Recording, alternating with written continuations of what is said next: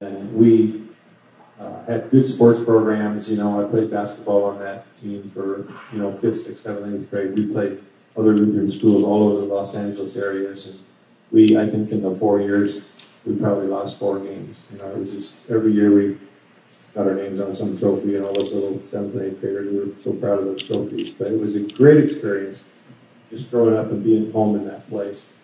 And so we, we did learn a lot of Bible, memory verses, stuff, and took it for granted for the most part. Remember when we got into catechism class, I was telling some of the guys today, you know, the, the pastor there was just a, a really large Lutheran church there in the city of Orange, California. He was just a, not a nice guy. And he, he had to come and teach us catechism, and he knew about half of us were in there just to goof off, you know, and that just made him all the more mad. And, uh, but, you know, early on in seventh and eighth grade, I got into stuff with some of the guys that weren't good stuff. You know, we would we could buy cigarettes at the 76 station for a quarter, and a uh, little vending machine, you know, pull a handle on. And when the guy there that worked there wasn't looking, we would we would go and get our pack of cigarettes, you know. And I remember one time we would come back from the beach, and, I, and my mom had borrowed my jacket, and she said, "Well, who smokes Tareyton?" Tareyton, for you younger folks, don't know, that's an old brand of cigarettes that went out in like 50 years ago. But, uh, you know, and so, but that was just kind of stuff we got into, you know, and then I, I, I, we had a good sports program and everything, but all my other buddies from Little League and, you know, youth sports in the area, they were going to public schools. So when I got to the ninth grade, I already pretty much knew, you know, a lot of the gang because I lived in one neighborhood all those times. And then, you know, was involved with football and baseball and basketball and stuff. But, you know, we, we got into drinking a little bit on in the ninth grade. And then as we moved into high school, uh, started driving and stuff. I never did, never really did drugs, but but drinking was just a part of our lifestyle down there in Orange County in those days. And, and I, I don't know if that's for, you know, I mean, I've been out of high school, you know, in another three years it'll be 50 years. And I don't know if it was like that for all you guys that went around here. I know I talked to Vern. I don't think Vern did a lot of drinking in high school. Like like we did, but there was a party every Friday and Saturday night. So we were drunk every Friday and Saturday night. We'd buy a, a six pack, a Colt 45, because that was cool, and uh, try to kill ourselves. I can still remember being at parties, you know, standing over a toilet, toilet, you know, making room for the next beer, thinking, is this is this fun, you know? And uh, uh, never, never drank to where I got sick, but we just did a lot of drinking. That's that's was the deal. And I remember in high school, one of the one of the Calvary Chapel, Chuck Smith Calvary Chapel, was right down the road.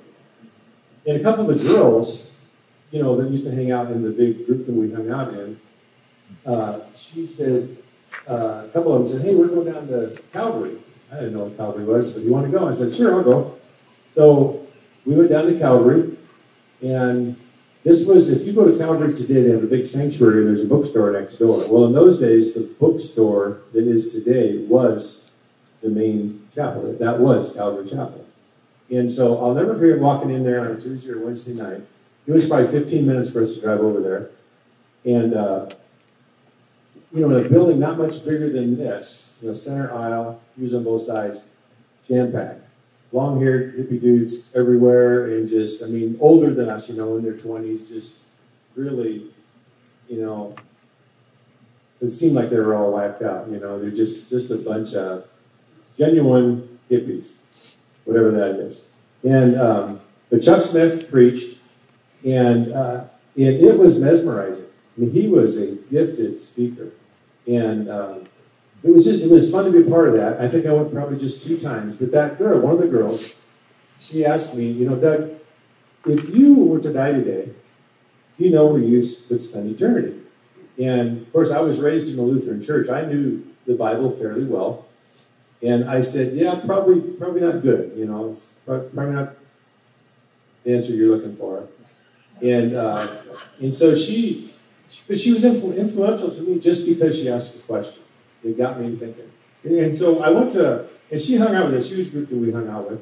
And uh, so I remember going to one Bible study with her and some other folks, and it just wasn't me. It, it just, it had nothing attracted to me. It was just, I don't know, people I didn't know, too intimate. You know, it was just didn't feel right.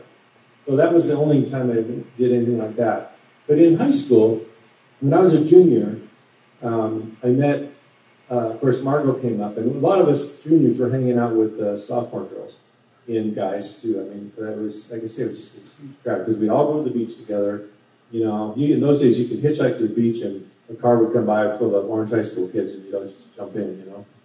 And uh, so, you know, but I, I, had my eye on Margot and her so-called best friend. I said, "Now, who's that?" And she says, "Oh, that's Margot." But you won't like her, Doug, because her parents don't let her go to dances. Doesn't drink, and you know, she's just not you. And I, I go, "Well, maybe, maybe I would like her," you know. And uh, uh, of course, this is the girl I've been married to for 45 years now, and. Uh, but it was just interesting. We later, of course, would laugh about that, uh, how her girl girlfriend would try to steer me some other direction. Uh, but you know, in, in my life, like I say, growing up through that Lutheran High, we had I had so much freedom. I mean, we just rode our bikes all over Orange County, literally from all the way out to Irvine Park, which is 15 miles, the beach, probably 15 miles or 18 miles, and that freedom was good. I think it developed my soul and my spirit but it was also bad because I had too much freedom. I got into stuff I should have never got involved with. I mean, we, you know, like we were always stealing things from the stores. And I worked from the time I was 12 years old.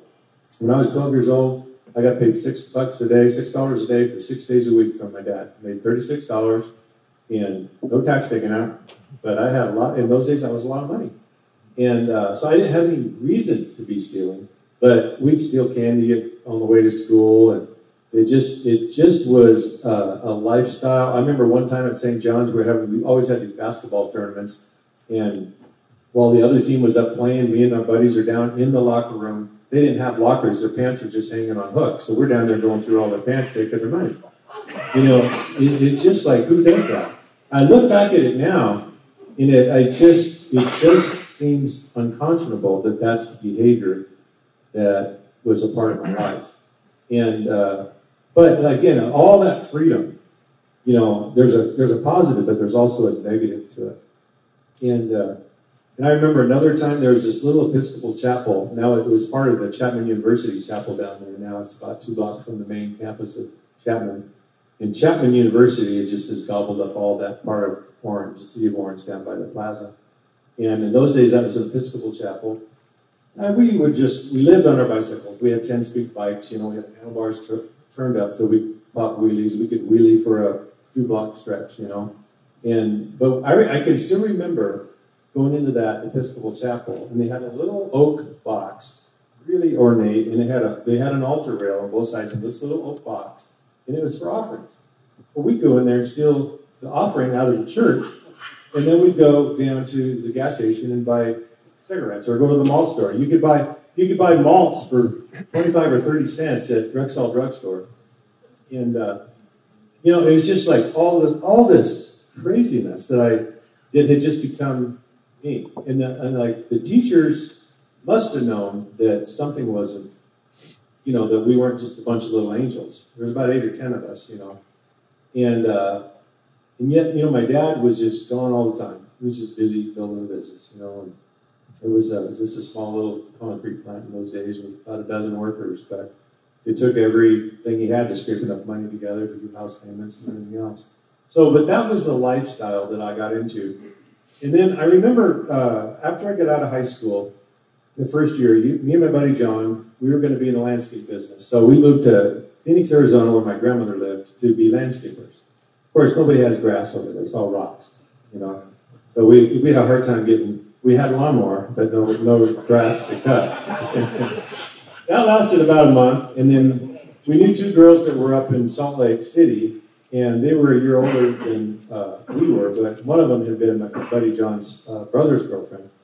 So we went out and bought all new skis, boots, poles, bindings, and we drove to Salt Lake. This is like six months after high school. And we were up there, and we met, these two girls had a couple guys they were hanging out with, and they were not the best guys. And, and so we, I remember one day we went hunting without licenses out in the west part of Salt Lake, out in the valley there. And we came back and we were, we Don't ask me why. I mean, none of this makes any sense. But we, we went and uh, we were going to steal some steaks to barbecue from Safeway. So we all had ski clothes on and parkas and, you know, zipped up. Um, you know, so you, you, went, you look like Pillsbury Doughboy. And so when we left that butcher department, the meat department, we had we had all the butcher's steaks in our clothes. And we bought like a loaf of bread or something, and then we left. And I remember looking at the back, and I remember seeing this butcher looking at his meat department and looking up. And my buddy John was in the other checkout station with this guy that he didn't know, and I didn't know the guy that was with me, and, we were just buying something. I mean, it just makes no sense. But that's but that's one of those days. I don't know if you, uh, you guys ever remember the Harold Morris story. Remember that he stole a pack of cigarettes and spent the next twenty years in jail and was accused of murder and all this stuff. It, that, that could have been my day that things really turned south. And uh, so I, I gave the guy with me 20 bucks and I said, pay for this bread. We got to get out of here. We're about to get busted. And I went over and whispered that to John. I went out and I had a 1956 Ford pickup truck cherry red, you know, and I bought it from my buddy. And uh, so we went out in the back. I just started truck up, started leaving the parking lot. My buddy John jumped, jumped in the back, buried his stakes in the snow. And then as we're leaving, the other two guys, one runs out the front door with a guy hanging on him, and the other guy runs out the side door with a butcher hanging on to him. And uh, they get loose they see us, realize we're all together, of course, and try to get our license plate. But John was hanging up back with his uh, jacket over the license plate. and, uh, and that is the last day I ever stole anything. I realized, like, this is a bad thing. Now, three or four months later, I had, I had, uh, I dated Margot a little bit. I'm one year older than Margot, and, and I had dated Margot a little bit through that summer that I got out of high school for about the next four months or so, four or five months. And then I, then John and I moved to Arizona. And then from there, we went up to Salt Lake City, and that's where we had this thing at the Safeway store. And, um, but I, she had exposed me to church, and I had always appreciated her family and what I had seen in her. She was the one person in that large high school crowd that was a, was having a good time, but uncompromising and I mean, everybody knew that that family was were straight arrows. And um, now, luckily, through all that drinking and partying that I did, I never fooled around with girls, and I never, I never became um, impure or anything like that. So God was protecting me, which which is a miracle in and of itself. And I always say later, you know, that I think I was so drunk most Friday and Saturday nights that, you know, I, I was passed out on the bed, you know, and the girls probably wondering what what are we doing here, you know. But but God just protected me, and um, so then as the uh, you know I, we came back from Utah, and then I started hanging around Margot a little bit through January, February, and then she during the Easter break she asked me, she said, "Hey, what are you doing?" Um, there's a, something going on at my cousin's church, which is was an assembly God, God, assembly God church, right? You know, three blocks from her church. And her cousins all went there. Was a big assembly God church, a fantastic preacher, really a, a great church on fire for God. And I went over to her house, you know, that night, and she said, "Come on, we're all going over there to this musical." And I said, well, "I really want to go because I was still drinking and I wasn't living right, but I really did like Margot, and we had made a lot of progress, you know, kind of on and off, but now getting back together. I said, well, I'll go with John. I'll go. I knew John wouldn't go, you know. So I called John. I, you know, no cell phones. Phone was on the wall. I remember dialing the number, and, uh, John says, probably said, hell no, I'm not going. That's probably what he said. But he said, there's no way I'm going, Doug. You're on your own. So I said, okay. And uh, so I said, well, John's not going. And long story short, they talked me into it. So I go to I go to the the musical. It was a Chris, it was an Easter musical, and it was No Greater Love, and um, written by John W. Peterson, and it was just um, just some phenomenal music. But most importantly, it was, it was it was a drama, and they portrayed the Easter story. And I'll never forget as long as I live. Uh, they had this thin veil, like a cable on a radius, and they had they had a thin veil that you could see through it, and behind that veil they had a cross and somebody portraying Jesus on the cross. And um, I mean, it really got to me. And I mean, it was clear as a bell that he was taking my place. And so we were probably sitting in the third or fourth row from the front. And so the pastor very effectively said at the end of that said, you know, what, what about you?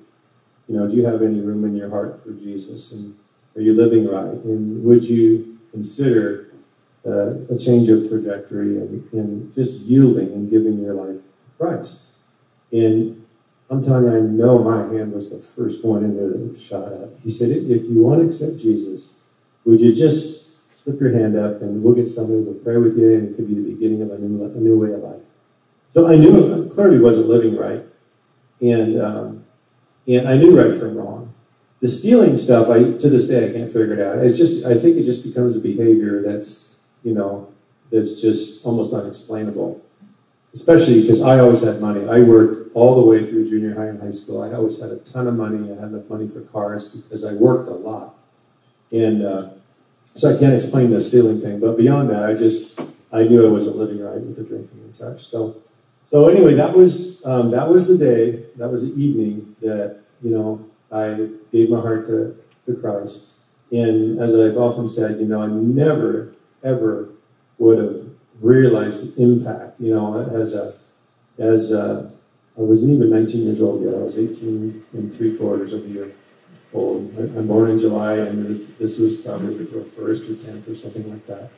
But how could an 18 year old really know the, the impact of such a decision? You know, that how that would affect my marriage all the way through, my four children who all love God and, and serve Jesus to this day. And, uh, and where would I have been without Jesus? Where would I have ended up? My trajectory was in self destruction mode. And I think it's just a good experience, a good practice to go back and, and you know, I know some of your stories that are in here. And uh, you know, Gail, I, I know you so well, but you know, there's so many of us that have these stories that if Jesus hadn't got a hold of us, where would we have gone? Where would we have ended up? You know, so many of my friends, you know, Margot and I got married. She was 19 and I was 20 when we got married. And when I used to come home from work and turn, we, we owned a house right on Maple Street across from that little chapel I was telling you about, just a few blocks from the little circle in downtown Orange. And as I would turn off on the Maple Street from the main street there, I could look and I could see all my buddies' cars. That there was a place called O'Hara's Pub. And so that lifestyle for them just continued on. Except for Paul Fox. I mean, Paul, Paul had gone through some really tough stuff, and I was able to explain the gospel to him. And uh, Paul uh, started coming to church with us, and he was wonderfully saved, turned his life over to Jesus, still serves the Lord. He and his wife have always been active for these last 40 some years in the church. Paul really is the only other one that really came to the Lord. But all those guys were still drinking and still, it just became such a lifestyle that it, alcohol had them hooked. When I went to my 10 year reunion, I looked around the room and I told Margot, I said, man, so many of these guys are, are purebred alcoholics already and in, in, in the, the liquor and the lifestyle and behavior just was such a norm. So I, I just know that that could have been me. Mm. And uh, so I'm just so grateful. And then I, I look from that day, those early days of our marriage, and we, we got involved with church right then. I mean, the first five years of our marriage, we were the youth directors at our church. And we had a youth director of, I mean, a youth a group of about 45 folks, 45 kids. And, uh, you know, I, I was on that church board uh, because of that, you know, right off the bat. And I've been on a church board essentially from then until now. And just always been involved with church. It's become our life. And, uh, and it's, it, we just feel like it's about building the kingdom. And some of the lessons that we've learned, uh, particularly, uh, are, have to do with, with giving. And I, I, I'm not going to be able to share that with you tonight, but uh, Margot's dad is just, he, he's the guy that early on, he said, you know, Doug, if, if you just don't get, buy your furniture and your appliances on credit, you'll have enough money to give to God. And I remember driving along the freeway, he was in the carpet business, and we were going to pick up some carpet. And he was just teaching things. And I was just like a sponge. You know, I, I, anything he said about the kingdom, I was in.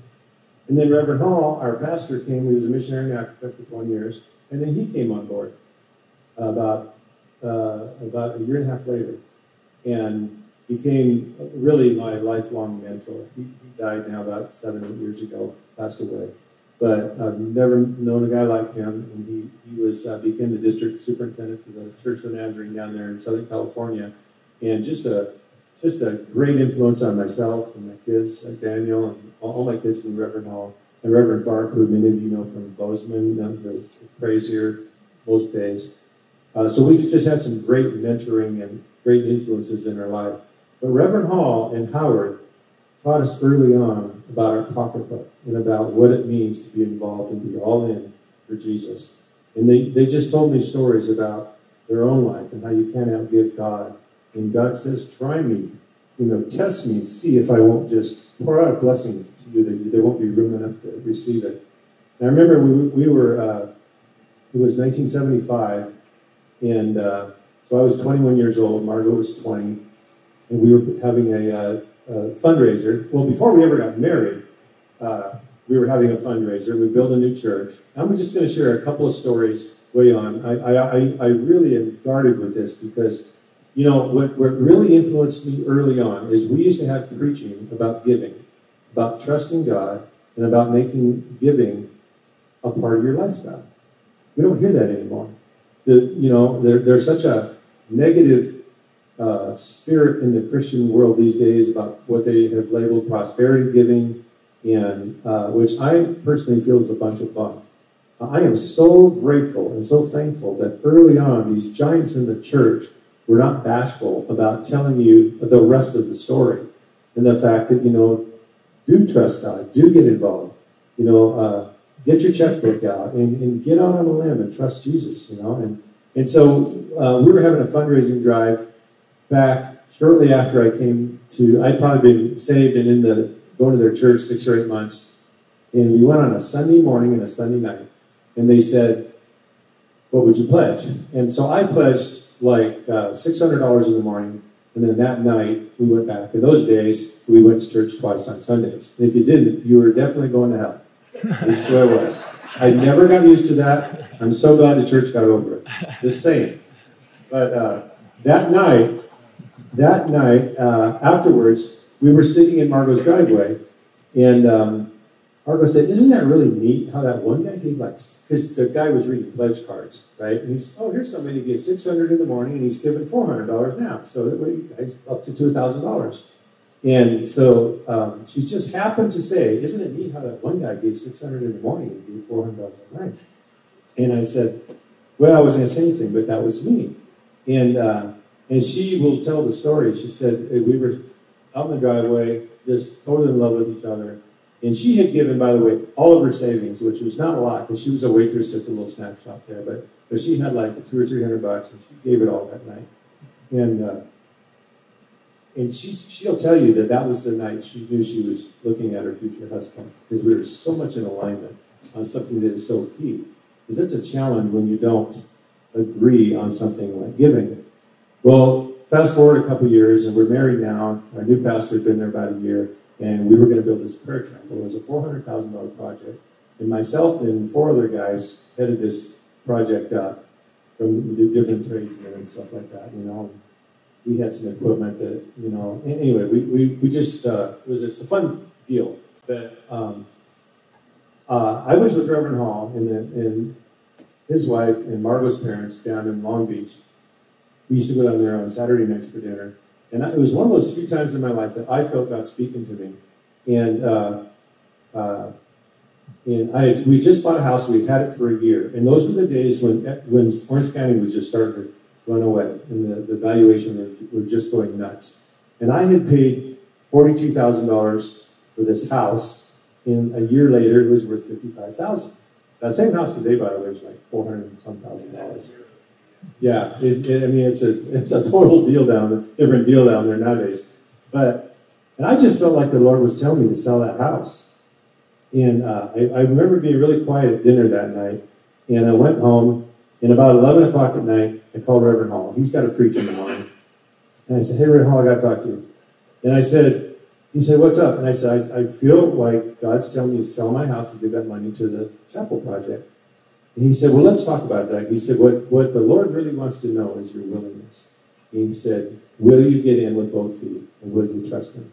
And he said, Maybe there's some other things to do. He said, I don't have any money either. He just come back from Africa. He was a missionary for 20 years. He said, I have a friend in Africa that's going to loan me $20,000 for this, for this chapel project. And uh, I mean, this guy was just a man of faith. They, they had nothing. He told me a story years ago when he was a pastor in Lone Pine, California, that when he went to that church, they were going to, they, they brought him in, they said, you know, we, uh, like after two months, they said, we can't afford to pay you anymore. And he said, well, no, you're going to pay me because it's my wife and I, and we don't have any money, and you called us here to be your pastor. And they said, we don't have any money. He said, you write the check. And he said, that next Sunday, his wife sat in the back of the church and she put all of her money into the offering that day. And it inspired that church. They had nothing. They went home that day. She said, honey, we don't have anything to eat. Their cupboards were bare. But that very Sunday morning, somebody had shot a deer and brought they brought the whole deer over. Somebody else had just harvested their garden. They brought all these beans, beans and lettuce, tomatoes and everything, and they brought it over. Somebody else brought some bread over. But they, they never went hungry the church was re-energized because of that act of faith of her, his wife sitting in the back of the church and dropping some money in the offering plate, and the people got all excited and say, "Wow, look at all the money we took in this week!" And and then of course he started preaching on giving, and and the rest is history. And then shortly thereafter, of course, he went to the missionaries. So Reverend Hall borrowed that twenty thousand dollars for this chapel project in the Santa Ana Church, and uh, and I, he said, well, Doug, would you like to borrow any money? I said, yeah, count me in. I said, I said, um, I had a, I had a lack of faith. I didn't think I could pay back twenty thousand, but I thought I could pay back fifteen thousand. So I borrowed fifteen thousand, and Reverend Hall borrowed twenty thousand. I was twenty-one years old. Mark was uh, twenty years old. We had no idea how we were going to pay it back. And to this day, it just kind of we just did it. We never missed it. We never missed those. But it was a faith lesson that that is just in my young experience, it was just priceless, you know, and I wouldn't trade those days for anything. And I am here to tell you today that, you know, when you give out of your lack, when you don't have it, it is way more fun and way more trusting and way more exciting in your faith walk than when you have a lot of money. You know, I've had it both ways. And um, we still get involved. But, you know, when we have stories similar to that that we could tell you throughout our entire life. Stuff where I, am saying, Lord, are you sure you want me to do that? You know, and and yeah, okay, we'll do it. And so you know, every time you kind of hold on a little too tightly, it's like he comes knocking on the door of your heart and says, Hey, I got a project. I want you to give into it. Will you do it? And the answer is always going to be yes. He can have everything we've got. I mean, literally. If, if it was the right deal, and he came knocking, we'd sell our house, we'd sell everything we had.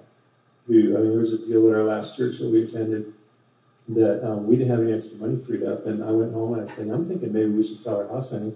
And she says, I'm thinking the same thing, you know, but we've just always been in alignment. So I just, I, I just wanted to tell you that part of our story, the giving thing to us is a huge part of our faith walk. It has been an experiment. We do test God to see what he will do. He says he, he will give it back to you, pressed down, shaken together, and running, running over, right? And uh, so we've lived that way, and it's, it's an exciting way to live. And I say that, you know, there's some people here that, that are just always a cynic or two in the room. Um, when Jesus, when the, when the four paralytic, the guys lowered the paralytic in, into that house, there were cynics in that room that day. They just found trouble with it. And I know not everybody understands the giving thing.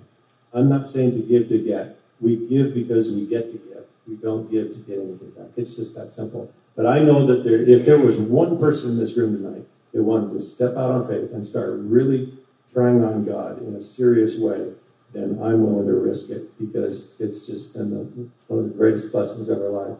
And with that in mind, I want to just move into some scripture here.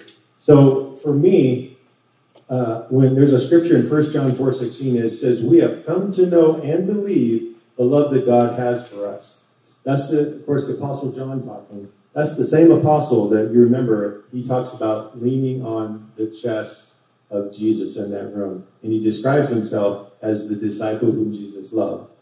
Jesus didn't love him any more than the rest of the disciples, but he understood the love that Jesus had for him maybe better than anybody. You know, he just understood. It's the same guy here now that says, We've come to know and believe the love that God has for us. And so it's one thing to know, it's another thing to believe. And so, you know, I, I want to come to a point where I where I completely 100% believe that he loves me. That's what I want to know. Because if if I just know about him, but I don't don't understand and truly believe the depth of his love for me, you know, then there's an opportunity to have almost a wasted gift.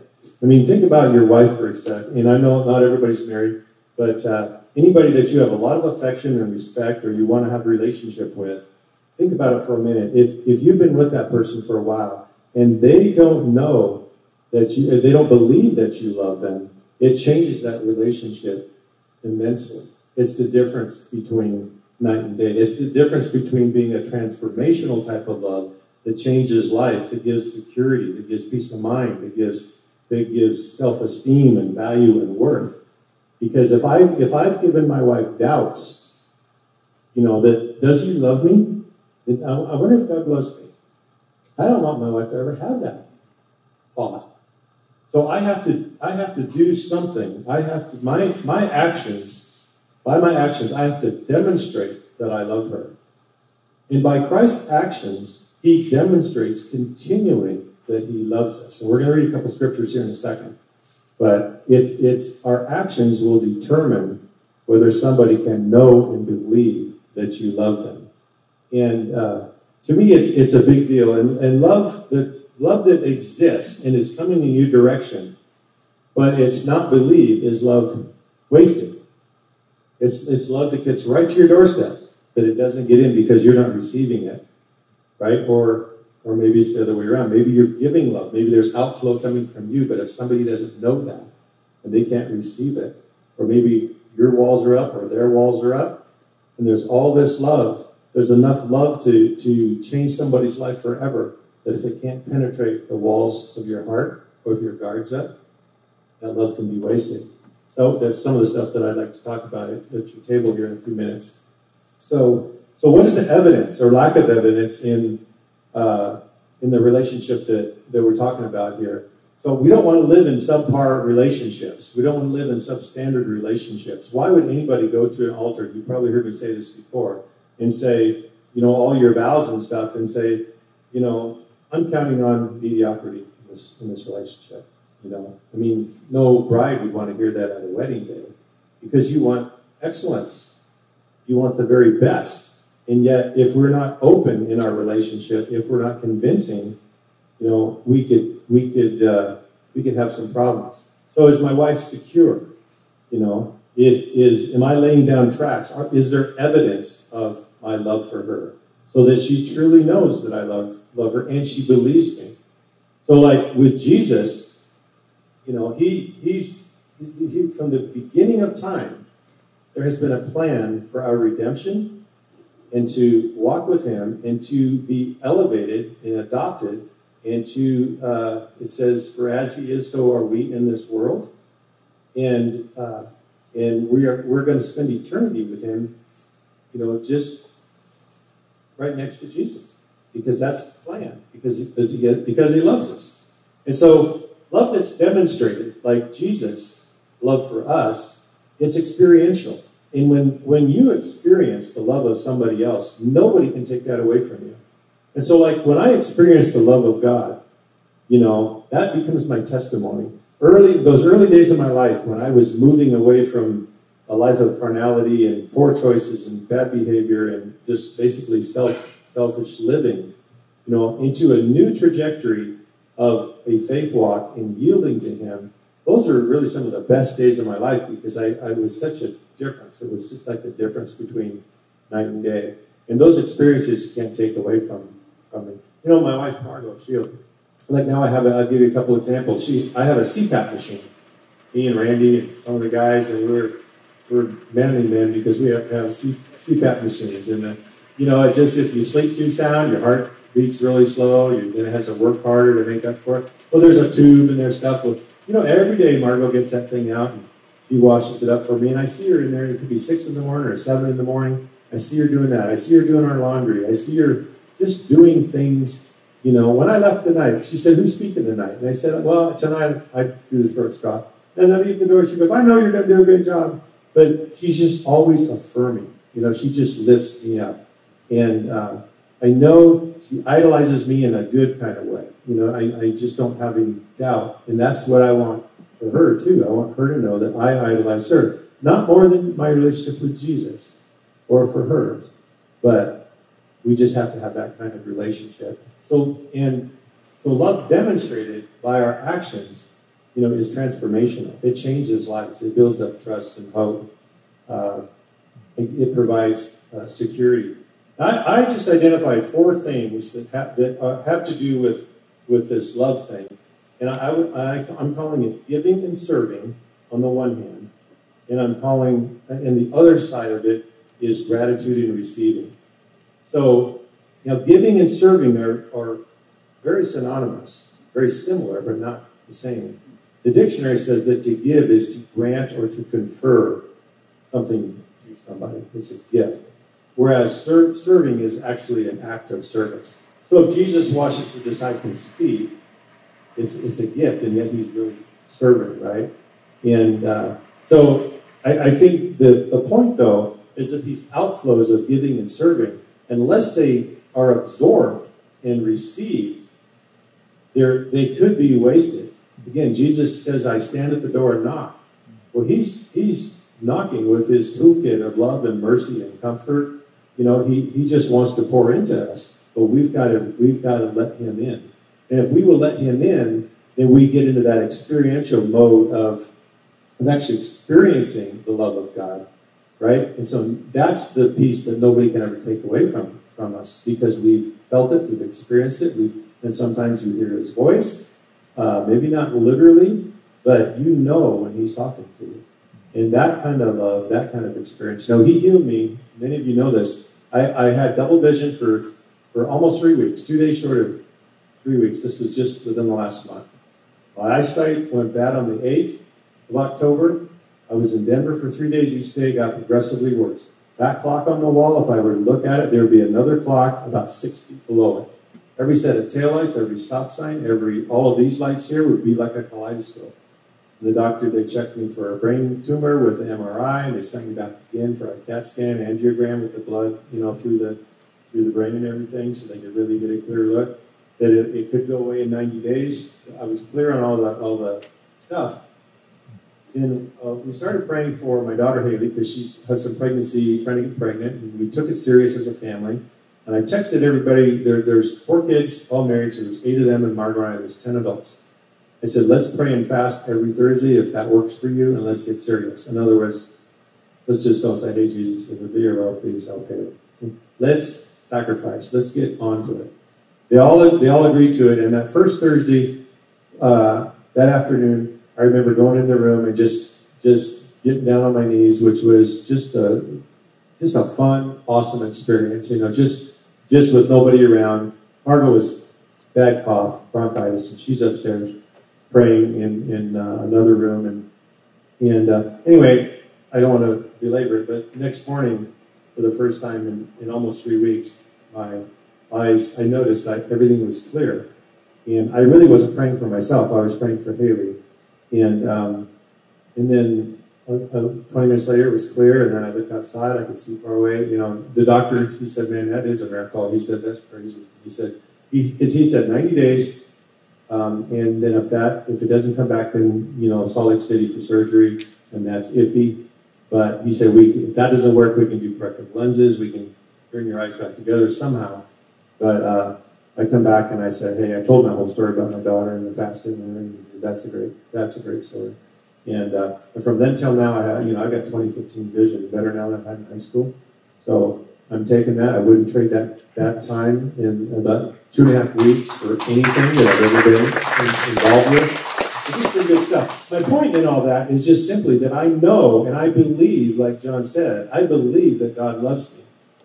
because he demonstrates that love by his actions. And that's what I wanted to kind of wrap up with tonight. The, uh, the, Daniel, if you could put up there the slide on Romans 8, if you have that.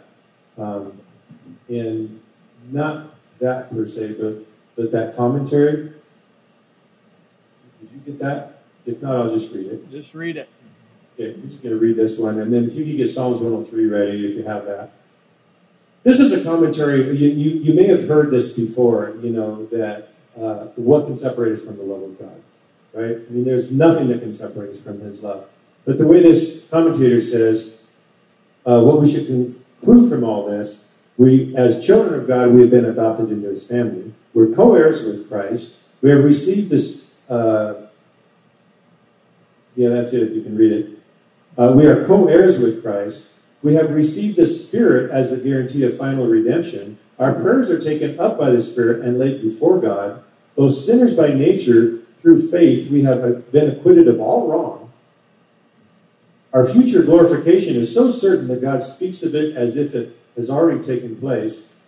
Certainly, if God is for us, what does it matter that who that anybody could be against us? Since he didn't spare his own son, but delivered him over to death for us all, will he not, along with this gracious gift, also lavish upon us everything else he has to give? And so he goes on with this argument, like, God is so good to us. He's done this, this, this, this, this, and this for us. Guess what? He actually loves us. He demonstrated it for us. He has this plan. He's already justified us, which means that he declares us righteous, even in, with the faults and the blemishes that we have. And there's no condemnation. He's already forgotten our sin. He loves us. He's got a plan for us. What do we do? We either open that door and let him in and let that love come into the receiving part of this exchange, or we keep the door shut. It's just that simple. It, um, the psalmist says it this way in Psalm 103. He says, Bless the Lord. Uh, he says, uh, verse 2. Okay. That'll work. Bless the Lord, O my soul, and all that is with me, within me. Bless his holy name. Bless the Lord, O my soul. And now here's the itemization, the way David looked at it. David just understood his love.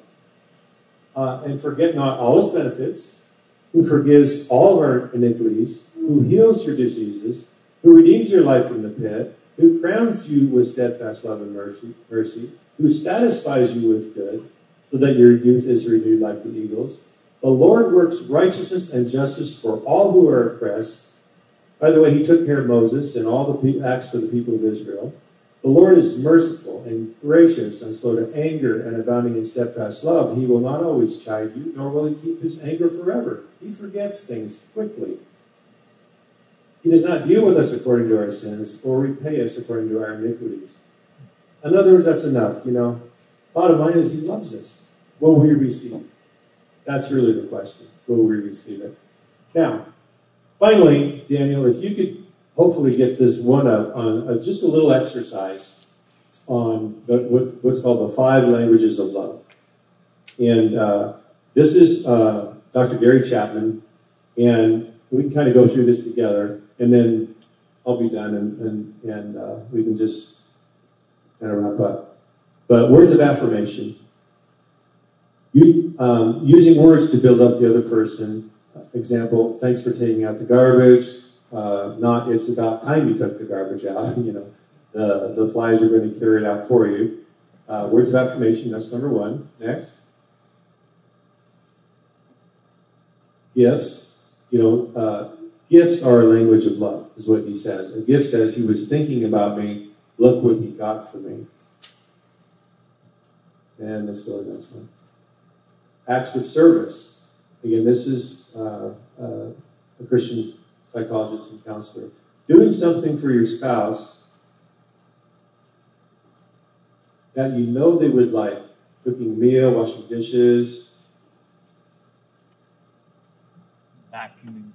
vacuuming floors. are all acts of service. So there's just a few examples here. The fourth one is quality time, giving your wife quality time. Uh, in other words, and he goes on to say here that if your if your love if your wife's or if your wife's love language is quality time, giving them your undivided attention is one of the best ways you can show your love. And then finally, physical touch, uh, holding hands, hugging, kissing, etc. You know, Margaret and I, we never take one step away from our car, into a restaurant, away from church, wherever we, we don't take one step without holding hands. If I walk more than five steps without her hand in mine, something doesn't feel right.